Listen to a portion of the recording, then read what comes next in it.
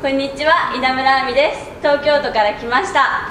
高校3年生17歳の173センチ足が24.5センチです。特技が9年間野球をやっていてちょっとピッチャーをやっていたので今から披露したいと思います。まず最初にワイルドアップからいきます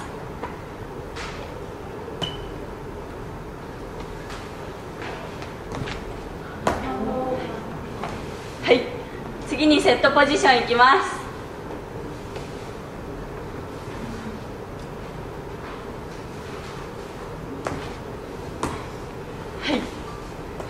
今後はいろいろマルチに頑張っていきたいと思っています。趣味もたくさんあるので頑張りたいと思います。応援よろしくお願いします。